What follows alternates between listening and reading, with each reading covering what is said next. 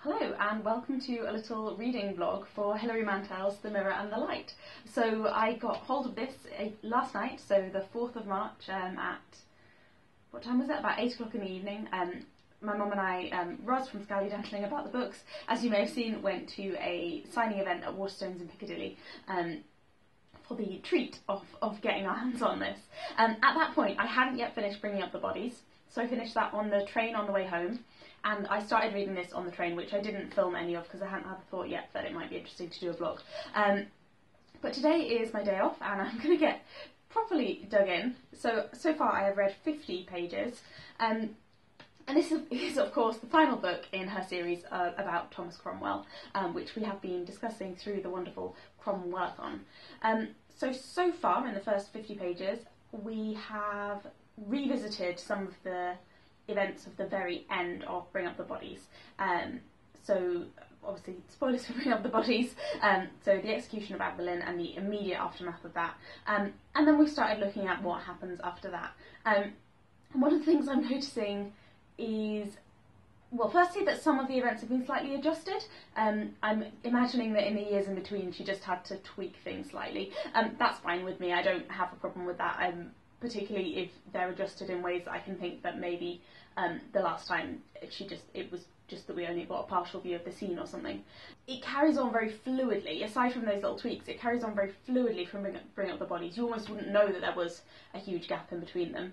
Um, but one of the things I'm noticing is like Cromwell is just at it again, and he is just constantly scheming. He's always running like multiple parallel possibilities in his head. So he's running deals with the French ambassador and with Chapuys, the imperial ambassador, um, and he's running uh, teams with one set of friends and another set of friends. When I say friends, I mean kind of like allies in the in the various conflicts around the king. Um, so he's always running these these these multiple um, parallel methods. But obviously, we know what's going to happen at the end of this, and I'm just wondering, you know, what's going to happen when those um, parallel tracks um, either become blocked or, or actually collide. Um, and the other thing that we're getting a lot of references to is um, Cromwell's ability to defend himself. So um, there's been talk about how his house is built, his his house at Austin Friars, um, and how there are ways that you can um, stab someone through the door or something. Like there's slits so that you can shoot someone who's standing outside the door. Um, and then there's also further defences at the far end. At, there's the outside gate defences, and then there's defences at the door of the house. Um, and his cook Thurston asks, like, why is it necessary? to have a set of defences at your gate and at your door. And Cromwell replies, well, in these times, you know, someone could change from your friend to, to your enemy in the time it takes them to walk across the courtyard. Um, so that's the level of threat that he perceives. Um, he also carries a knife, and he says that he carries a knife purely because he can't work out a situation in which he would need to use it. So, you know, he needs to have the knife because he's not sure um, of all of the possible eventualities. Um, and I'm, yeah, I'm so curious for the ending of this book and like how how that's going to pan out. Like, is Cromwell going to use these violent tendencies that it's often been suggested that he has? Um, is he going to try to defend himself? Um, because you know we know what's going to happen in the end, and it doesn't end very well for Cromwell. Um, but yeah, so we will see. It is a 900 page long book. It is an absolute behemoth. Um, I can't remember the last time I read a book even nearly this long. Um, of course, it's March of the Mammoths this month, um, and March of the Mammoths is all about reading a book. I think the criteria is over 600 pages, so this is like a book and a half's worth um, of a March of the Mammoths book. Um, but yeah, I will try and caught my hair in the book there. I'll try and just like generally keep you a little bit updated on my thoughts as I read. Um, starting from now, I'm currently in chapter two, which is called Salvage. Oh, and also, this is my copy that I got signed for me, which seems like unbelievably selfish to get something all for myself. Um, but Bo hasn't read these yet, and he said just get it for you because it's your thing. Um, she said, Matilda, all good wishes from Hilary Mantel. I'm really curious actually because in the books she is very crisp and precise when it comes to um, describing people and describing enough of their appearance for you to get a really clear idea of what the person is like. And she does that frequently and repeatedly with characters that come up again and again, like Boleyn. Um, and I just have to wonder how she would describe herself. Um, this is a thought that struck me as we were kind of like looking at her as we came around, um, and like what features she would pick out as being her like defining characteristics. Um, in the way that, like with Anne, she frequently talks about her eyes, but also later on in the books about her like boniness. Yeah, and one thing that I'm realizing is that I have characters that I particularly like having scenes with, and I don't like really having the scenes with the ambassadors. I find it maybe a little bit like it's still good, but it, it's not what is drawing me into the book. And I really like scenes with Jane Seymour. I love her as a character, and yeah, I'm worried for her too. And I'm also worried for how that is going to impact on Cromwell because I think Cromwell really likes Jane Seymour, so I think he's going to mourn quite hard. Um, and a lot of people are going to be very upset um, when things go wrong for Jane. Um, and again, you know, it's not a spoiler, it's English history.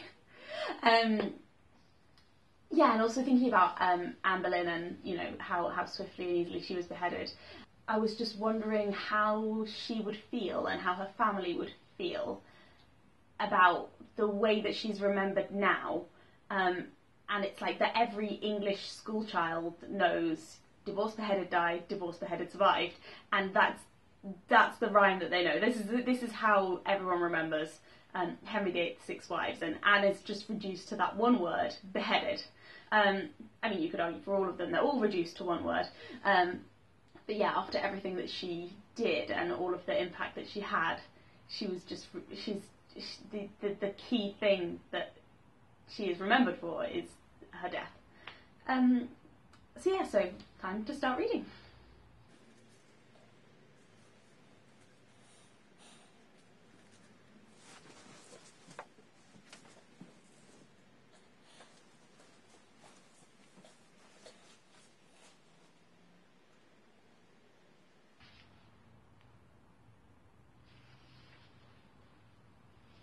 This is a little passage that I find quite interesting.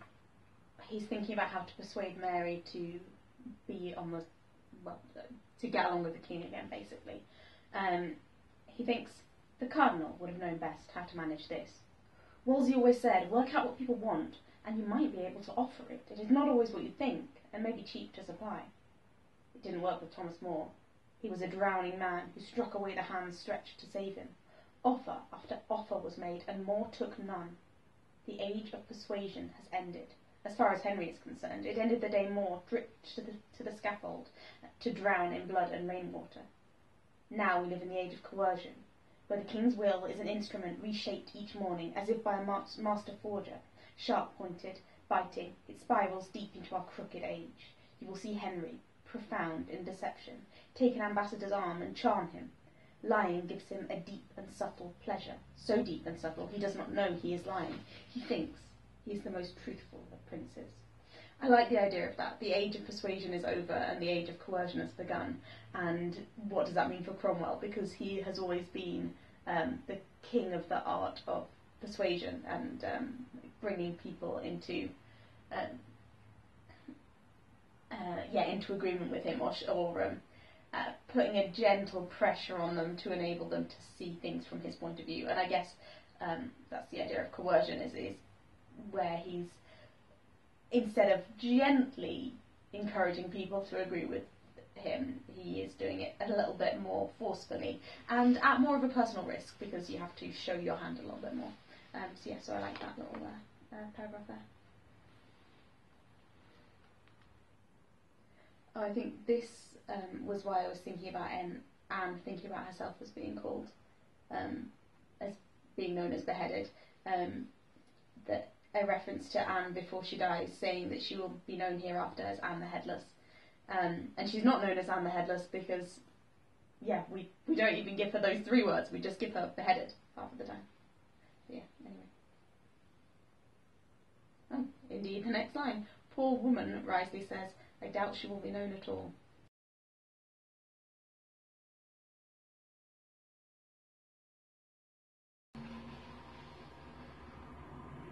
This chapter is as long as some books.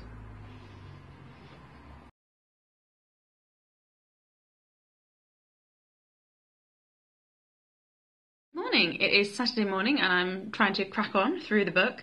Um, so just a little update, um, just like a momentary comment really. Um, I'm just over page 100, so I'm a ninth of the way through this um, absolute mammoth um, of a book. And Henry has just said, a man who cannot control his wife is not fit to serve his country. And I just had to chuckle. I think Mantel is, is great for little uh, humorous moments like that.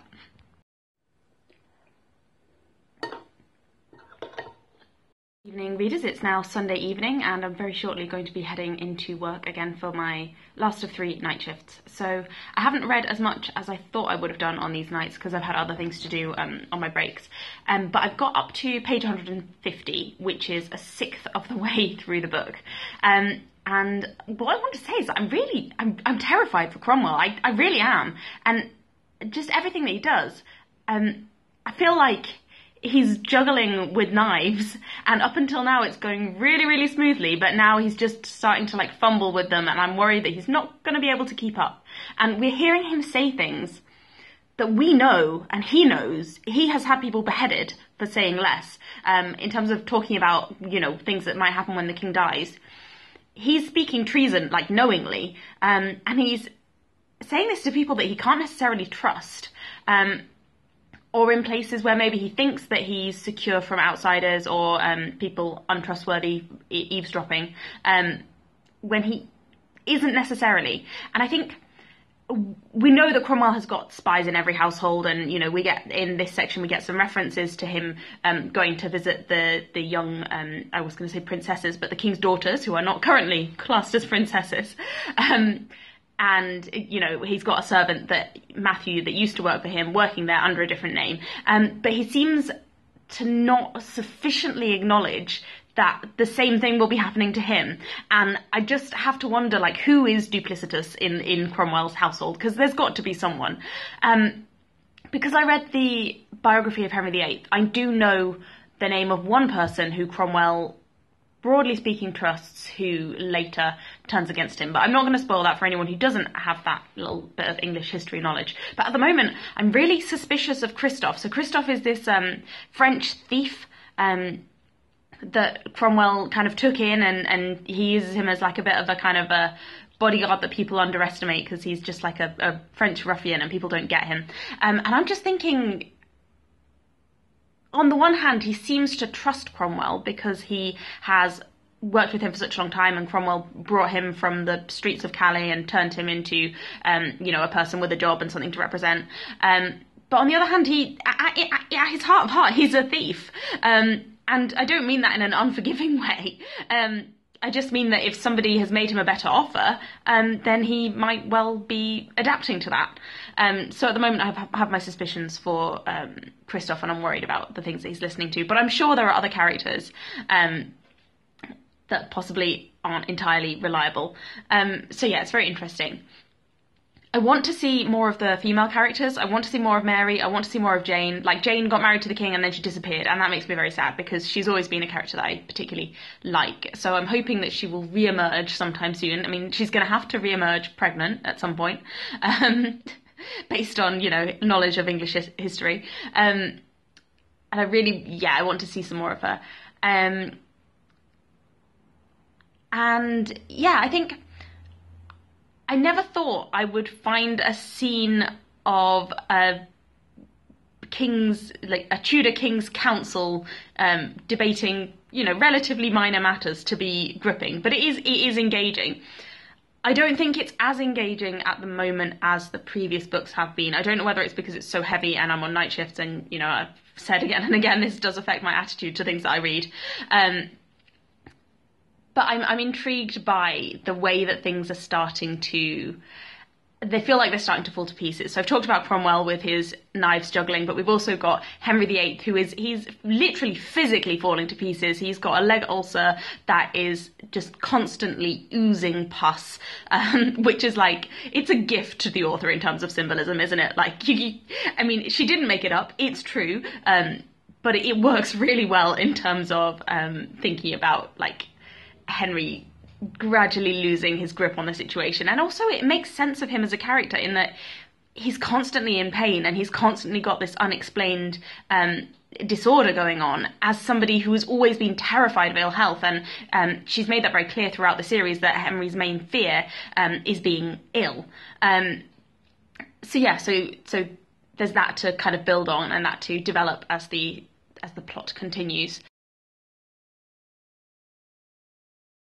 good afternoon it's tuesday afternoon and i'm just around about over page 200 220ish um, apologies for the weird position i'm on the sofa with the cat um, and both of us, are, well, I was just about to say both of us are too comfortable to move, but um, she's deserted me already. Um, and I just read a really a scene filled with threat um, and kind of, I've, I've, lost the word at the moment, but um, a very dark scene. Um, retrospectively, looking back at when Cromwell was getting the king to sign the death warrants for the men who were convicted alongside Anne. And at the time, in Bring Up the Bodies, that scene doesn't occur. We don't directly see that. Um, but in Cromwell's memory, uh, it's it's really quite um, menacing, um, and Cromwell is Cromwell standing on one side of the king and Rafe Sadler is standing on the other, and they're both giving each other looks of like, you know, the king has to sign these documents, and there's almost movements or motions from the king that he has some kind of sentiment of wishing to be merciful, like he references to the young age of some of the, the of, of Francis Weston, um, who's one of the accused, and Cromwell and Rafe between them don't give him any encouragement towards mercy. So they are very much in control of the situation and very much in control of, um, you know, coercing the king slightly to encourage him to be um, perhaps more violent than he would have been inclined to be. Um, and it talks about how he struggles to sign his name to the papers that are going to, you know, cause the deaths of the men who are his friends. And it's interesting because um, in the last couple of pages, um, there have also been references to Cromwell perhaps being less sure that his judgment at that time um, was correct and that less sure that he did the right thing at that phase. So we're getting this idea of doubt that Cromwell has, and that potentially the king has as well, um, about the actions that they've taken over the course of the last year. Um, and I feel like that's where some of the threat against Cromwell is going to have. One of the things that I've been meaning to mention um, in this previously, and I did mention it um, in a comment in a video about Bring Up the Bodies, um, is just how much the dead are very much present characters, not just in this book but throughout the series, like from the time of um, Cardinal Wolsey's death um, and also Cromwell's father's death. Um, but going on now, we've got more and more dead characters um, who, I mean, in, in the first pages of this, there's like a, a character guide. And uh, one section of the character guide, they're all divided into like which family they're from. The very first section is the recently dead. I'll see if I can very clumsily turn this around to show you somewhere on there it says the recently dead. Yeah, like they're they're characters who have opinions on current events. Like they, Cromwell is constantly thinking, "Oh, you know, what would More say uh, in this situation?" And um, they're very much present, like physically in rooms. Like they might, for instance, walk past rooms that that somebody was in, and and he'll reference to almost like a lingering smell of that person, or um, just things like that. Really, that the, the dead continue to be present um, in a way that is it, it's like I think Hilary Mantel has an, an interest in the idea of ghosts, and I think there are ghosts in this book that are very much they're not haunting ghosts; they're ghosts that are in, that are in people's minds, um, that people can't kind of forget them and lay them to rest. Um, so yeah, so I find that quite interesting. Um, and obviously, we get the feeling that these um, these ghosts are going to come back and um, do some damage, um, and that they haven't, you know, that that section is not over um, just because those people are dead, um, and there's going to continue to be repercussions from that. Anyway, thank you very much for listening, and I will speak to you soon. When I get to maybe about page 300, then I'm going to stop this section. Okay, bye. Hello, good morning. It's now Wednesday morning, and I've just finished part one. And part one ends with a bit of a recollection of a moment in the past. And what strikes me, or what struck me as I read it, was I was thinking, we've been back to this scene quite a few times. And then I realised that that's a technique that Hilary Mantel is quite frequently em- employing throughout all three of the books, which is that there are certain moments in Cromwell's past that are, in a way, turning points for him, um, and moments that are very important to him as a character and that feature very prominently in his recollections. Um, that he keeps going back to. And every time she tells you about this scene, there's possibly just something slightly different. She's not repeating word for word the things that she's said before about this scene, but she is interpreting that old scene in the light of things that are happening at the moment. So the scene that, that ends part one of this book is a scene from very near the beginning of the original um, Wolf Hall, um, which is when the cardinal has been kind of cast from grace, and there is a point when Henry Norris rides to give him a letter from the king, and the cardinal falls to his knees in the mud, and it is a very moving scene in which a man who has become um, possibly far too proud um, suddenly humbles himself in a way that is to a certain extent ridiculous. Um, and that is that ridiculousness of the scene, as well as the kind of tragedy of it, is an element that is played up again and again.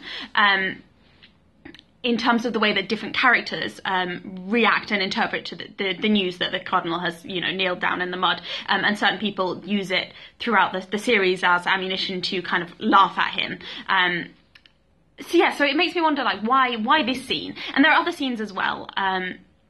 For instance, the first one that comes to mind at the moment is the the very first scene in the books where Cromwell is um, kind of abused by his father um, and like uh, hit as quite a young boy and that's the the kind of the instigating point that causes him to set out on his journey that eventually leads him to where he is now. Um, and that's again a, a, point that it comes under reinterpretation when we find out that um, his father actually um, beat him up, but also acted to protect him from some of the consequences of a fight that he had been involved in earlier on in that day. So we get this idea that that the scene wasn't exactly what it seemed on the first impression, and and it's this idea that there are multiple layers to all of these um, events and interactions, um, and sometimes things only come out years after the event. And I think that's part of what Hilary Mantel has set out to do with this book is to look at kind of the layers of history and the secrets of history that continue to be unlocked. Um, years and indeed centuries after the events, and um, it doesn't matter necessarily that those those details are strictly accurate because it's all about how you kind of see them and interpret them. Anyway, that was just a thought I had as I was finishing part one. I think I'm going to read the next chapter um, today, hopefully, which is augmentation, um, the start of part two, and then I will possibly edit this together and post it. So let me know if you've had any thoughts um, and if, if that idea of, of events that keep cropping up um, in Cromwell's memory um, makes sense to you, and if there are any moments that you would highlight as being that kind of moment that, that comes up again and again in the book, I would be interested to be reminded of the others. Hello again, it's later in the same day and I am just over a third, just under, sorry, a third of the way through The Mirror and the Light. I've just finished the chapter Augmentation and I think I'm going to stop there um, and maybe divide this into three kind of chunks, um, like one for each week in the latter part of March, if I finish this in March. Um, I re- I've really enjoyed it. It's been a really good start to the book, um, but it is the length of another book, and I'm finding myself craving um, reading something else. Um, whether it's a reread, I kind of quite fancy reading um, Pride and Prejudice for some reason, um, or also I really want to read some Agatha Christie's. Um, so I might just read something that is not The Mirror and the Light for a little while, just to kind of refresh myself the same as at the end of the first book, plot wise, sometimes it's not entirely like really pacey. So yeah, I think just something refreshing would help. Anyway, thank you very much for watching and talk to me in the comments.